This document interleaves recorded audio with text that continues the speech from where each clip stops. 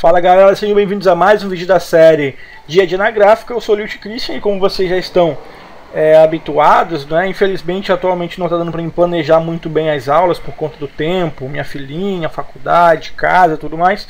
E hoje eu vou abordar nessa aula um tema que é muito interessante, o pessoal comenta bastante no canal, que é como preparar telas para serigrafia. Né? Existem dois tipos de telas: aquelas telas que são feitas com cores chapadas, que são chapas de cores é, bem densas, né? apenas uma cor em cada tela, e também existe a impressão com retículas, que seria a policromia. Eu vou usar aqui esse vetor do último exercício que a gente fez lá do curso de CorelDRAW. Infelizmente aqui no meu computador quase não tenho vetores, tenho mais na gráfica, tá certo? E o meu outro computador que eu uso para trabalhar está com problema. Mas vamos lá. Então, olha só, gente. Primeiro, Existem várias maneiras de fazer isso. Eu vou usar aqui o CorelDRAW, mas esse exemplo aqui serve também para Illustrator, tá? CorelDRAW porque o pessoal usa mais e também é porque é um pouquinho mais rápido. Então, olha só, gente. Para fazer telas com cores chapadas, que são aquelas telas que você pinta uma cor de cada vez, tudo que você precisa fazer é isolar a cor não é, da, de, de cada um, na verdade, isolar cada uma das cores dentro da sua imagem, do seu desenho. Não importa se esteja texto sobreposto, se há é, informações umas sobre as outras, o importante é isolar uma cor de cada vez. Aqui está bem simples, não tem uma informação em cima da outra, mas eu vou colocar aqui um texto aqui, né? Só para dar uma ideia para vocês. Clube do Design. Pronto. Quem não sabe, quem, quem não conhece nosso site, né, acessa clubedodesign.com. Então, olha só. Coloquei o Clube do Design aqui em amarelo para dar uma quebrada aqui nas chapas de cores. Então, como é que a gente faz? A maioria das pessoas faria assim, né? Faria... Deixa eu diminuir aqui para ficar mais fácil vocês entenderem, tá? Faria uma cópia da arte, no caso, uma cópia da sua composição para cada cor que a gente tem no objeto, por exemplo, aqui eu tenho uma, duas, três cores, então eu precisaria de três cópias aqui duas, três, tá bom? Não vou ensinar ninguém a copiar, tá, gente? Isso aqui é um, é um procedimento bem básico. Se você não sabe, assiste nessas aulas. Então, olha só, gente. Fiz uma cópia para cada cor que eu tenho na minha arte, azul, vermelho e amarelo. Então aqui eu preciso preservar as cores azuis, aqui o vermelho e aqui o amarelo. Então basicamente é isso. Você tem que isolar as cores que você vai trabalhar com a tela. E como é que você vai revelar a tela? Quem trabalha com serigrafia, com serigrafia sabe né, que só é possível revelar a tela negativa, ou seja, preto no branco, tá legal? Então o que, que você vai fazer? Eu vou aqui, por exemplo, isolar nessa primeira parte da tela a cor azul. Então eu vou pintar o que for azul de preto, tá? Tem um contorno aqui, né? Isso aqui está muito feio. Deixa eu tirar o contorno para ficar mais fácil. Pronto. Então eu vou pintar o que for azul de preto. E o que não for azul, o que, é que eu faço? Eu elimino? Não, eu posso pintar de branco, né? Então eu pinto de branco porque para ficar mais fácil depois de alinhar. Tem contorno em tudo quanto é lugar aqui, né? Então eu pinto de branco para ficar mais fácil de eu alinhar, caso eu precise alinhar depois os meus desenhos. Então olha só.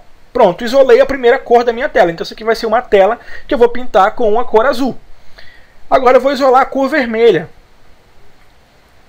Então eu vou retirar as outras cores que não sejam vermelhas. Pronto, tirar aqui o contorno e pintar o vermelho de preto, não é? Ok? Então agora eu já tenho a minha cor vermelha. Se você quiser fazer uma imposição, né, uma impressão sobreposta, você pode desconsiderar aqui o amarelo que está em cima do vermelho, mas eu não aconselho. É bom deixar o espaço para pintar por cima, tá? Deixar vazado aqui. Agora a gente vai isolar o amarelo, tá? Mudando aqui todos os itens para branco, deixando apenas o amarelo. Quem fez essa arte aqui encheu de contorno, né? Pronto, e aqui o amarelo fica isolado. Então, basicamente, para fazer uma tela simples de cores chapadas, é isso que você faz. Isola as cores de cada uma, é, isola não é? cada uma das cores da, da sua arte, geralmente fazendo cópias desse desenho, justamente para você revelar as telas separadamente. Depois você faz uma impressão a laser e pode revelar tanto com uma caixa de revelação ou pode revelar no sol. Né? Existe aí uma, uma maneira muito mais rápida de revelar que é usando o fotossensibilizante revelando no sol diretamente em 10 segundos a tela está pronta. Então olha só, gente. Claro, isso aqui é o jeito mais básico, mais arcaico que existe, tá bom? Vou ensinar um jeito bem melhor para vocês do que esse, tá bom? Vamos parar de ficar fazendo cópia, a menos que seja necessário, caso você esteja ruim de grana e queira economizar papel, né? Deixa eu tirar logo os contornos aqui. Então tá, um jeito mais fácil de fazer isso é enquanto você ainda está desenvolvendo a sua arte. Então você não precisa terminar a sua arte para já fazer a separação das cores. Se você vai usar chapas é, cheias, igual a gente mostrou aqui agora há pouco, você, você só precisa usar um padrão de cores, né? é, de, de, cores sólidas, no caso, pode ser um padrão Pantone, tá certo? Que já vem instalado no CorelDRAW. Então, para que a gente faça a separação das cores de maneira automaticamente, a gente pode usar as cores prontas, que são as cores da Pantone, tá certo? Que são as cores especiais. Então, para você exibir a paleta de cores da Pantone, você clica em Janela, paletas de cores, você pode abrir qualquer uma das cores da Pantone, tá? Bora pegar essa Goi Quoted aqui, pronto. E aí o que, que você faz? Deixa eu colocar ela aqui do ladinho para vocês verem direitinho como é que ela funciona. Você pode pintar qualquer uma das áreas do seu desenho com uma dessas cores, tá certo? Como as, as cores Pantone são cores é, que, que são impressas em chapas separadas a impressão offset, em qualquer tipo de impressão, as cores Pantone são cores é, já prontas, tá? Então elas vão sempre ser, sempre ser impressas separadas umas das outras. Isso quer dizer, por exemplo, se eu selecionar aqui essa área de cima e pintar com esse Pantone aqui, depois esse de baixo também com o mesmo Pantone, pronto, eles já vão ser impressos em chapas separadas das demais cores. Vamos pintar o vermelho agora. Vou selecionar aqui os vermelhos, tá bom? E vou pintar com um Pantone diferente, qualquer um, tá? Tanto faz, isso aqui é só para fim de impressão. Pronto, pintei com Pantone vermelho. Aqui eu vou pintar com um Pantone amarelo, só para a gente ver a diferença. Pronto, então olha só. Todos eles foram pintados com cores Pantone. Isso quer dizer que quando eu pressionar o Ctrl P para imprimir a minha, a minha chapa, no caso, imprimir as minhas folhas para me fazer a revelação da minha tela, e clicar na visualização de impressão, e solicitar que o CorelDRAW faça a separação das cores, olha o que, que vai acontecer. Ele vai colocar cada uma das cores Pantone tá, em folhas separadas, em chapas separadas. Assim eu posso simplesmente imprimir e revelar a minha tela tranquilamente. Já vai sair tudo bem alinhado, é só revelar as três telas no caso e fazer aí a pintura sobre a minha camiseta, sobre o meu tecido. Muito mais fácil assim, né, gente? Claro, se você tiver ruim de grana, né, e quiser economizar papel, você pode continuar usando aquele mesmo esquema lá, não é? Fazendo as cópias, tudo, e isolando as demais cores. Vamos fazer isso usando a Pantone? Para fazer isso é muito rápido, né? Você simplesmente tinge de branco que você não quer, tá? Tinge de branco aqui, ó, pronto, e deixa, pode até deixar de amarelo ali para aparecer para o seu cliente, né? Para que ele veja como é que vai ficar aí a sua pintura. E aqui deixa assim mesmo, e aqui vamos pintar de de branco. Olha. Então eu mantive as cores Pantone, tá? Porque já são cores prontas. Opa, ficou vermelho duas vezes, tá? Mas para você ver a diferença aqui em visualização de impressão, olha, vou pedir a separação. Pronto, ó, ficaram duas cores, né? Ok? Vermelho e o amarelo, tá certo? Agora, se o que você quer é fazer uma retícula, ou seja, você quer fazer aquelas impressões coloridas, vamos supor que você queira imprimir uma foto numa camiseta, você quer fazer aí a, a, a serigrafia de uma imagem, de um, de um texto com efeitos, né? Deixa eu ver se essa imagem aqui do Sérgio Malandro tá legal, tá bacana. Vamos pegar aqui o Glu Glu né? Deixa eu abrir ela. Isso a gente já vai fazer no Photoshop, tá? Não dá para fazer no CorelDRAW. Se você fez a sua arte no CorelDRAW, ah, eu fiz uma arte no CorelDRAW e eu quero fazer ela em retícula, é muito fácil. Deixa eu abrir aqui um escudo, tá? A primeira coisa que você vai fazer é exportar essa sua imagem, deixa eu colocar ela no meio da página aqui, tá abrindo o Photoshop ali, tá? Então vamos supor que você fez a sua arte no CorelDRAW. Esse, esse, escudo aqui tem efeitos de gradiente, tem um efeito de transparência por cima. Isso aqui não dá pra fazer em tela chapada de jeito nenhum, né? Tem que fazer uma retícula, tem que fazer aquelas bolinhas coloridas, tá bom? Qual que é o jeito mais fácil, gente? Tá, eu falei que não dá pra fazer no CorelDRAW, mentira minha, dá, dá pra fazer sim, tá? Mas qual que é o jeito mais fácil? Mais fácil não, o jeito correto de se fazer retículas usando CorelDRAW, usando Photoshop, usando Illustrator. Você precisa tá, ter uma impressora PostScript. Tá? As impressoras PostScript são geralmente as impressoras a laser, tá bom? Quando você compra, você já pergunta, olha, essa impressora tem drive PostScript? Ela faz impressão PostScript? Pronto. Se ela fizer, é muito fácil, você mata toda a charada da retícula usando o CorelDRAW ou Illustrator, tanto faz, qualquer um deles. O que, que você vai fazer? Ao abrir uma impressora PostScript no CorelDRAW você vai encontrar aqui a guia, só aparece se você tiver uma impressora PostScript, a guia que chama PostScript, tá certo? Aqui você tem a possibilidade de ajustar as configurações da compatibilidade, tá bom? Utilizar aqui a questão da, da compactação dos bitmaps e tudo mais, tá certo? Mas aqui na pré-impressão, deixa eu ver se é na pré-impressão, aqui na composição, olha só. Na composição, você vai encontrar uma opção que se chama frequência de tela. Essa frequência de tela é responsável por configurar, olha, o tamanho dos pontos em uma impressão PostScript. Então, se eu usar uma frequência de tela diferente, tá bom? Usar aqui, olha, uma frequência, por exemplo, padrão, tá? Vai imprimir normal aqui, ó, 60. Ele vai imprimir pontos menores, tá bom?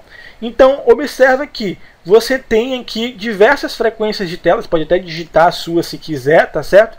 E essa frequência de tela vai expandir os pontos, vai separá-los, tá bom? Isso vai fazer com que a sua impressora PostScript, olha, imprima cada uma, deixa eu colocar aqui a, a, a separação, tem que habilitar aqui a separação.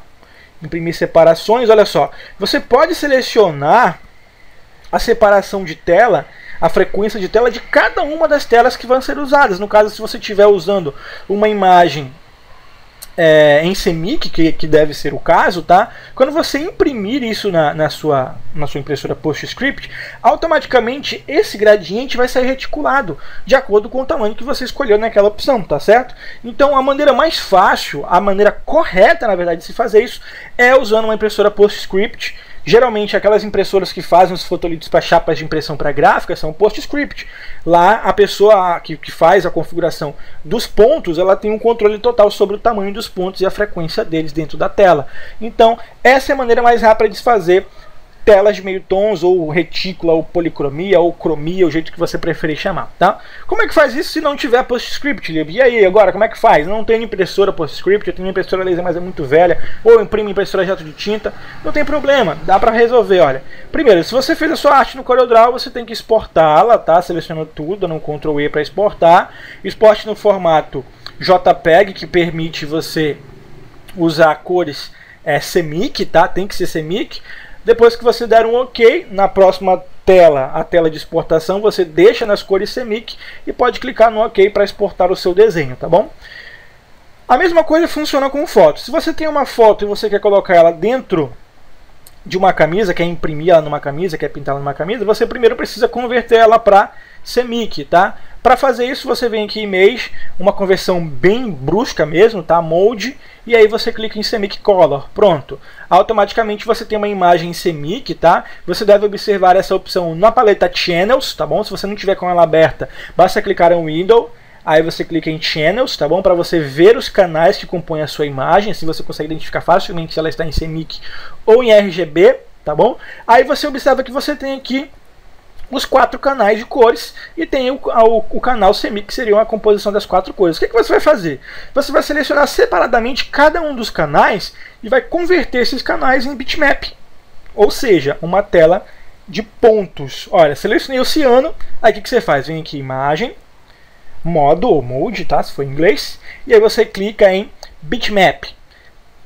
Ele pergunta se você quer descartar os outros canais, por enquanto sim, tá? Clique no OK, lembrando que a gente está trabalhando com o ciano. Aí você observa que aqui tem uma resolução. Vamos deixar aí no 72, 72, vamos colocar aqui 40, tá? 40. Aqui embaixo, onde está a opção de método, você seleciona Half Tone Screen, ou tela de meio tom na opção em português.